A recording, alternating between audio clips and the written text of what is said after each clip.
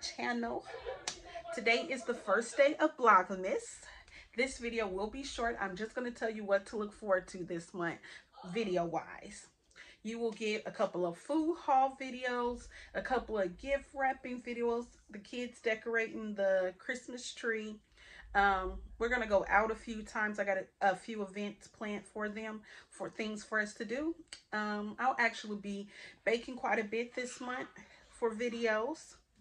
Um, just trying to think of video ideas to get us through the whole month because that's a lot when I only post generally like maybe one once a week. So that's a big difference for me. So, you know, I'm going to try my best to give y'all something. Not all of them going to be outings and not all of them going to be with the kids. Really, majority of them will be with me when I can squeeze them in. So hopefully this weekend I'm able to knock a few videos out. So it'd be easier for me to be able to post a video each day, hopefully.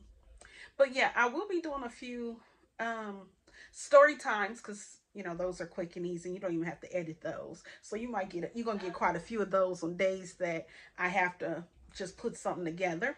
And you'll have a few gifts of, I mean, a few videos of me wrapping gifts um, showing you what I got my youngest child, not my older kids, because they have phones and, you know, my videos pop up on their thing because they're subscribed to my channel. So I don't want them to watch their videos and know what they're getting. So then they don't be surprised. But majority of the stuff they already know they're getting because it was on their list. Um, I'm gonna have the kids do a few videos as well. Oh, we have a couple of Yum boxes we didn't do last month. Yum box. So we'll have like maybe two Yum boxes videos as well. But I just wanted to put this together real fast and just come on and do something for the first day. Because I actually wasn't even going to film today at all since it's so late. And I had got caught up and just didn't have time to do it. But I said, nope.